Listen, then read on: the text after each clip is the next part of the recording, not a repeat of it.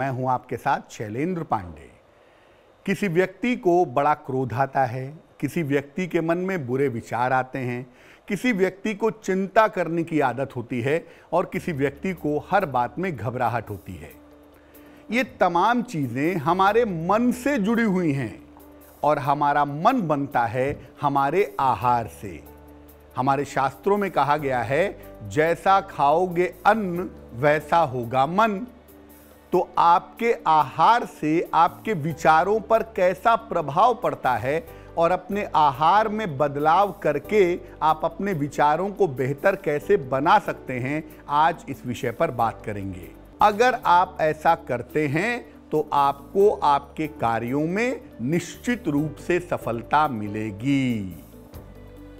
सबसे पहले ये जानते हैं कि हमारे जीवन में आहार की भूमिका क्या है। देखिए, किसी भी जीव की मुख्य रूप से चार आवश्यकताएँ हैं।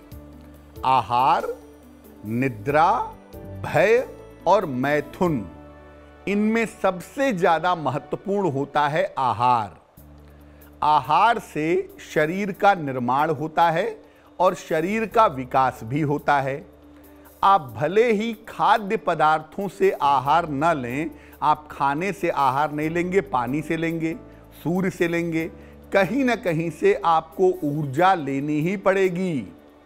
बिना ऊर्जा के जीवन की लंबे समय तक कल्पना नहीं की जा सकती, इसलिए किसी न किसी तरीके से आपको ऊर्जा लेनी पड़ेगी, किसी न किसी तरीके से आपको आहार लेना पड़ेगा। अब ये जानते हैं कि किस प्रकार से आहार हमारे ऊपर असर डालता है।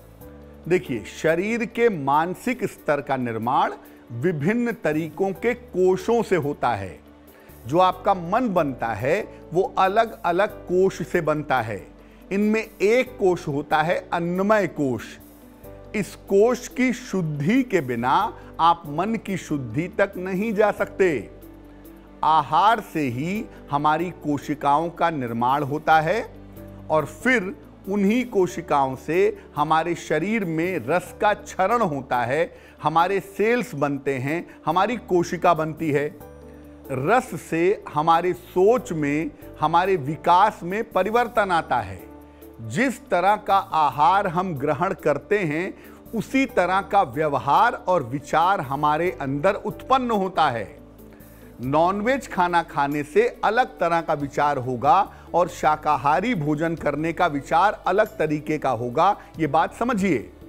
हम ये नहीं कहते कि आप नॉनवेज खाइए या ना खाइए, वो आपका अपना विषय है, लेकिन ये जाने रहिए कि आपके मन में जो विचार हैं, वो आहार से संबंध रखते हैं। मांसाहारी जीव का व्यवहार और शाकाहारी जीव का व्यवहार आप समझ सकते हैं। एक शेर का व्यवहार और एक गाय के व्यवहार में ज़मीन आसमान का अंतर होता है, इस बात को समझिए। अब ये जानते हैं कि किन चीज़ों को हम सात्विक आहार नहीं कह सकते। प्याज, लहसुन, सरसों का साग, मशरूम, मांस मछली, मादक पदार्थ, डब्बा बंद खाद्य पदार्थ, बासी खाना, इनको आप सात्विक नहीं कह सकते। किन चीज़ों को सात्विक आहार मान सकते हैं? सभी प्रकार की अनाजें दाल दूध और इससे निर्मित पदार्थ सभी प्रकार की सब्ज़ियाँ, फल और मेवे इनको आप सात्विक कह सकते हैं। अब ये जानते हैं कि किस तरह के स्वभाव को बेहतर करने के लिए किस तरह का आहार ग्रहण करना चाहिए। अगर आप बहुत ज़्यादा इमोशनल हैं, भावुक हैं तो गुड़ और मीठी चीज़ें खाइए, रोटी खाइए, बासी खाना मत खाइए। अगर आप बहुत ज़्यादा क्रोधी हों तो प्याज, लहसुन, मांस, मछली, मदिरा से परहेज कीजिए। अगर आपको तनाव पालने की आदत हो तो दूध और दूध से बनी हुई चीज़ें ग्रहण कीजिए मशरूम और कंद। कंद माने जैसे आलू, ये ना खाएँ तो बेहतर होगा।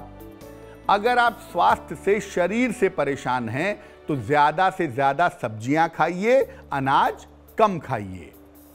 अगर आप बुरे विचारों से परेशान हैं तो क्या नहीं खाएँगे?